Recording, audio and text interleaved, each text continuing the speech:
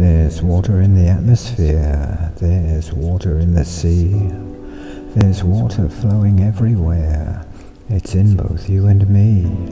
We're floating on the surface of an ever-flowing stream, we're swimming in an ocean, we're sharing a wet dream, in between the molecules, tumbling as they fall, constantly in motion through an unseen wall.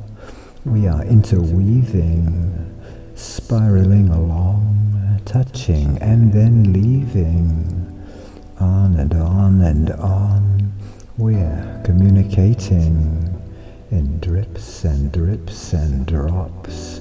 When we're meditating, our mingling never stops. Water shares our consciousness.